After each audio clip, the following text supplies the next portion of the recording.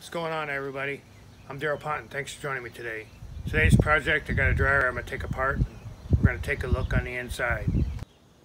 Right, here's what we got. This brand's Roper. There's a lot of them that are similar to this one. We're going to go to the back and I'll show you how to get in through the access panel.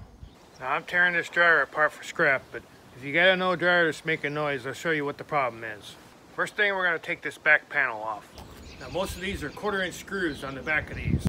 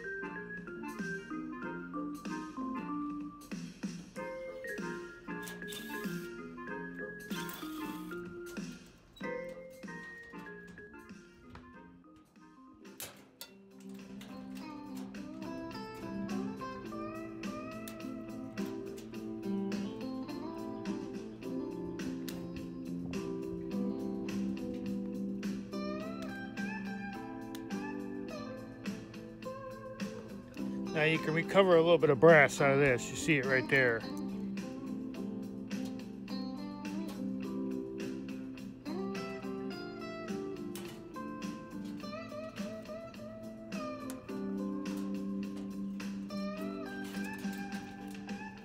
There's not a lot to these dryers, but I wanted to take it apart anyway.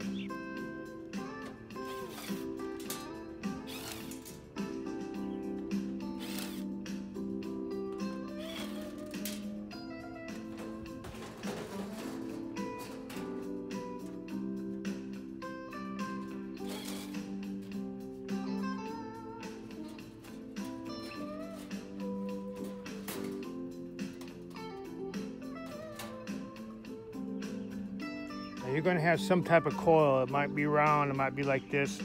But what's going to happen is this wire here is going to have a break in it. This one seems to be all right, but for some reason they threw it out anyway.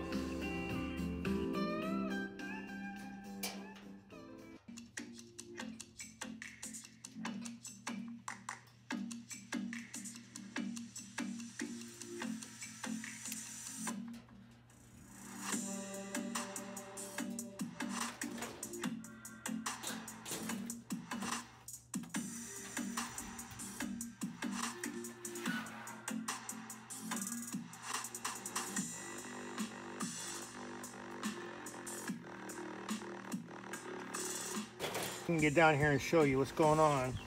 Now here's what happened. This, this is the tightener. This thing comes completely off. This goes in here somewhere. This belt goes here and it'll go around the drum. This piece here will go up against it like this. What happens a lot of times is the belt breaks or this will wear out this center will wear out and it'll start making noise. If it isn't that, then it's going to be these with a drum ride. Sometimes them get wore out. It's only a couple things that's going to stop your dryer from working. It's always sure to find a little bit of cash when you get in a dryer. That's one other reason I take them apart. You never know what's inside. It could be a ring in there. There could be money. And plus, it's easier if it's all torn apart to load it up in the truck. It only takes a few minutes.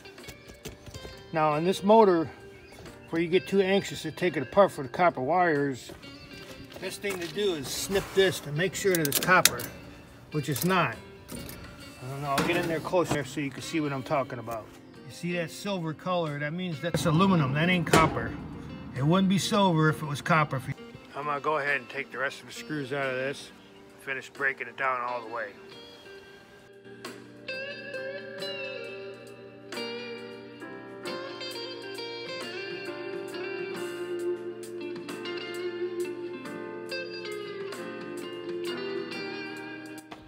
All right, there's all the steel. I estimated probably about 80 pounds, maybe 90 pounds. The new dryers and washers don't weigh that much, not like the old ones. I went ahead and recovered all the aluminum out of the motor just for the video sake and just for you viewers so you know how much material you can recover out of a dryer. All right, that's what I recovered out of the motor. Like I said, these ain't copper, that's aluminum. I'll get in there close, you can see, see that silver looking color, that means it's aluminum. Got about two pounds of aluminum. Now you can see there, there's not very much brass. Recovered everything I could off the ends, of the wires, and some copper. That little bit of copper windings there, that's from the, the switch. You take that apart, there's a little circular thing in there that's got copper. Some of the ends are from the switches.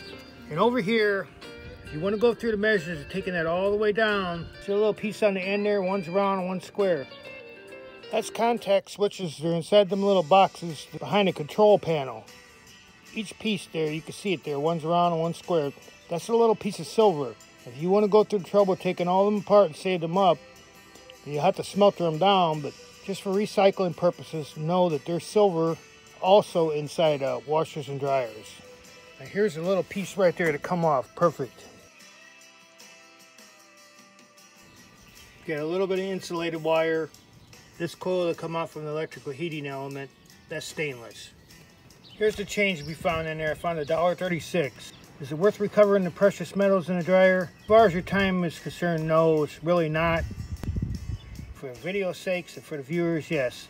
I went ahead and tore everything apart just so you guys could see what's inside and what the value is.